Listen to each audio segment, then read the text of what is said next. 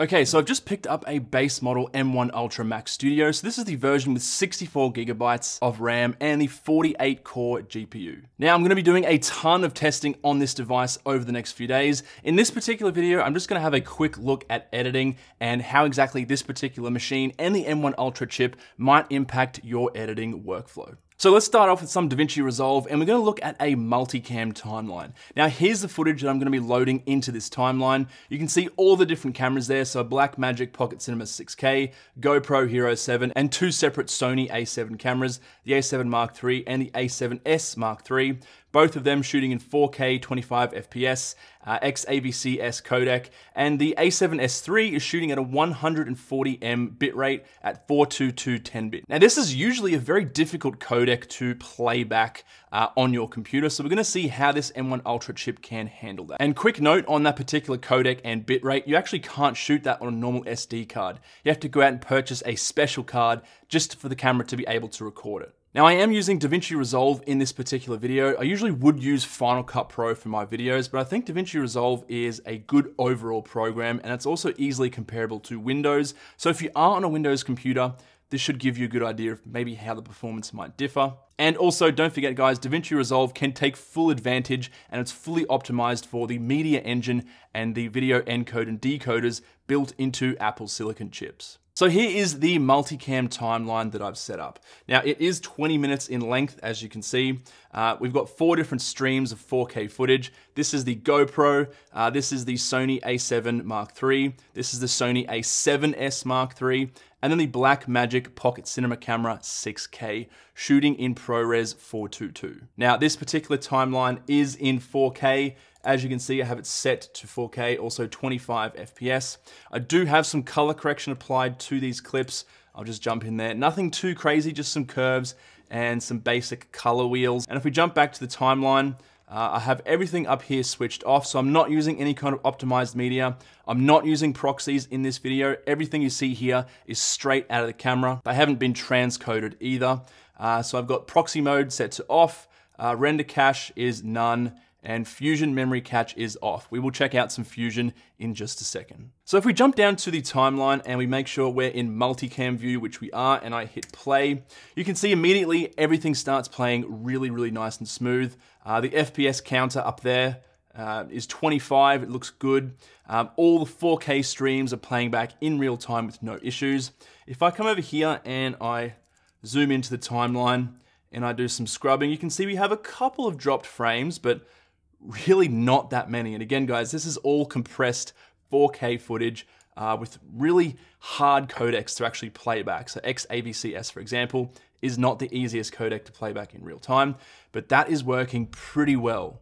And again, if I hit the space button and we play straight to 25 FPS, no issues at all. Now you may have noticed up the top here, I do have some B-roll. This is again from the Sony a7S Mark III, highest bitrate, uh, 422, 10-bit uh, color, and that is playing back zero issues, uh, as well as all of the 4K streams on the side. Now scrubbing, again, little bit of a delay there, but if you sort of, if you zoom in a bit and you slow your scrubs down a tad, it's working pretty well. Now moving on to some Fusion, I'm not gonna create anything custom on this video, it's gonna take too long. Uh, here are just some Fusion transitions that I downloaded a while ago, they're pre-built. Um, so I'm just going to drop this on and I'm going to put it on that particular uh, part of the timeline.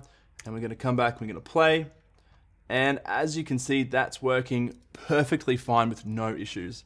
If I zoom in and I scrub, now remember guys, this is really, really compressed H.264 footage. That's playing back in real time uh, with zero issues. So let me remove that one and let's find a little bit more complicated fusion transition, drag that on. Okay, so that one is a little bit less smooth.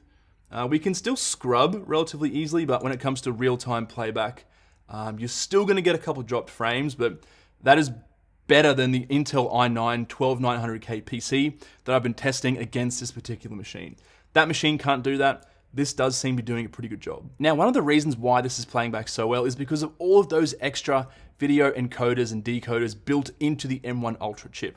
Now, all of this footage is either ProRes or H.264, which means it's gonna play back really, really well. So how about some 8K footage? We'll take a look at that next. Okay, so here we have some 8K Red RAW footage from a Red camera. Now, all this footage is actually downloaded from the Red website itself, and I did that because if you guys want to do this testing on your own machine and see maybe how it can compare, you can. Um, so I've made a timeline here, very, very simple timeline, uh, some minor color correction applied, um, nothing too crazy. You might not be able to see that um, on the camera. And again, I'm gonna jump down to the timeline. We're gonna play this back in 4K, 24 FPS first of all and we'll see what we get. All right, so we can see we're stuttering a little bit. Um, we're seeing that red FPS indicator. If I skip forward, it's a little bit jumpy at the start, but it does get relatively smooth um, once the clip has a second or two to start playing. Again, guys, this has not been transcoded. There's no proxies or anything like that. Uh, it's just straight out of a red camera, uh, and it seems to be playing back okay. Now, if we do some scrubbing here on this shark scene, apologies if any of you guys are afraid of sharks. I Didn't mean to choose this clip on purpose. Uh, that's playing back okay uh, with the biker scene. Some dropped frames here or there, but um, I could probably edit this if I really had to. Uh, the monkey scene, that's playing back okay. Now, I don't think a lot of people are going to be doing an 8K RAW timeline like this. Um, at the very least, you're probably going to be transcoding it or using proxies, uh, or you will just be using 4K like I think most people do. I think only a small percentage of people uh, have full 8K RAW timelines, but I think for this, it's pretty usable. So if I just jump in here and I change the timeline resolution to 1080p, and we click save, and I'll just get rid of that second one. Okay, that's playing back pretty well. So you can see that's much more responsive, switching between uh, all these different clips and then playing in real time. Okay, for this last test, I'm back to the Sony a7S Mark III, and I have some 120 FPS 4K footage from the camera that I'm just gonna drop onto the timeline here, and we're just gonna try and play it back and see what kind of FPS we can get. So if I just hit the spacebar here, uh, we are getting very, very close to the 120. You can see it's a little bit choppy there. Uh, but again, this is 120 FPS playing back in real time. Uh, if we do some scrubbing here and I zoom in, definitely getting some dropped frames. Zoom in a bit more. Um, but that is playing back pretty well. Now, don't forget, this is playing back in 4K, uh, so you would probably switch that timeline down, and that is working pretty well.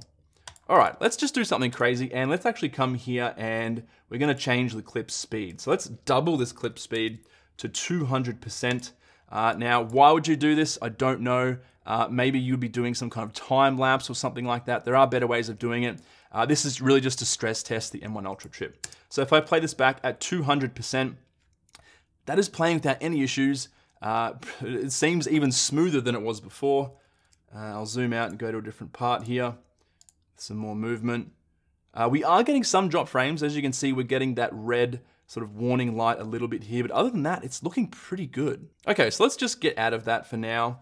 And I am going to be doing a lot of render tests on all of these different timelines you've just seen. I will leave that for a separate video. I just want to give you guys a brief idea of what the editing experience is like in case you're on the fence right now and you want to pick it up ASAP, the M1 Ultra version, because last time I checked, they're sold out for I think about two months at this stage. So don't worry guys, more videos are coming if you're still on the fence. But apart from that, I'll catch you in the next one.